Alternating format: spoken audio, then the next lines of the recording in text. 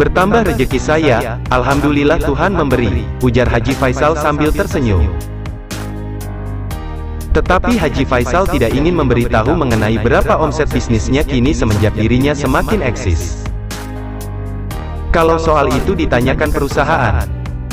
Perusahaan itu punya rahasia. Jadi insya Allah mudah-mudahan kalau Gala jatuh ke tangan kita, insya Allah untuk belanja Gala amanlah, ujar Haji Faisal dikutip dari Youtube Seleb Oncam News, Jumat, tanggal 11 Maret tahun 2022. Haji Faisal pun menjelaskan bisnisnya kini memiliki omset yang bertambah, karena tujuannya dalam memperebutkan hak asuh sang cucu, Gala Sky Ardiansyah murni untuk kebaikan sang cucu. Haji Faisal pun menegaskan jika nantinya hak asuh jatuh ke tangannya, dia menjamin masa depan Gala Sky akan aman di tangannya.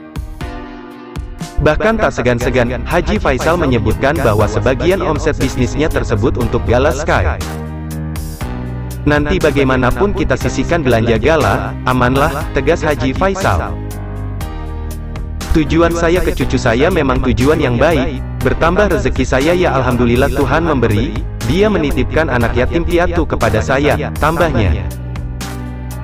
Dalam waktu dekat ternyata ayah Puji ini juga memberitahu bahwa dirinya akan membuka usaha baru. Tetapi Haji Faisal belum ingin memberitahu detail usaha apa yang akan dijalaninya. Tuhan akan membuka peluang lagi ini, sehabis dalam waktu sebulan ini, nanti wartawan akan tahulah ada sesuatu. Nanti saya undang untuk peresmiannya, ujar Haji Faisal.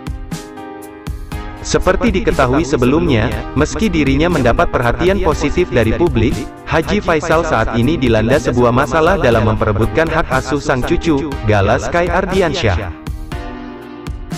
Saat memperebutkan hak asuh Gala Sky, Haji Faisal beserta keluarganya justru memiliki konflik dengan besannya, Dodi Sudrajat. Di tengah-tengah memperebutkan hak asuh tersebut, ternyata Haji Faisal merasa keberatan dengan sikap Dodi Sudrajat. Hal ini lantaran sudah beberapa kali ayah dari almarhum Vanessa Angel tersebut menyebutkan bahwa Gala Sky Ardiansyah merupakan anak haram. Haji Faisal pun menyampaikan rasa keberatannya tersebut melalui kuasa hukumnya, Sandi Arifin. Sandi Arifin pun melayangkan rasa keberatan Haji Faisal tersebut di ruang sidang perwalian atas anak Vanessa Angel dan Bibi Ardiansyah. Tetapi Gala Sky Ardiansyah, yang digelar Pengadilan Agama Jakarta Barat, Rabu, tanggal 9 Maret tahun 2022. soal itu ditanyakan perusahaan. Sandi memohon kepada majelis hakim agar pihak Dodi Sudrajat tidak menyebut maupun mengungkit Gala Sky sebagai anak di luar nikah atau anak haram. Untuk belanja Gala amanlah. Mohon maaf yang mulia, saya mau menyampaikan sedikit. Untuk kuasa hukum termohon, kami tidak ingin ada pertanyaan anak zina atau anak di luar nikah, itu saja, ujar Sandi Arifin sesaat sebelum sidang dimulai tertutup untuk umum. Tetapi tampaknya Dodi tak peduli dengan rasa keberatan Haji Faisal tersebut.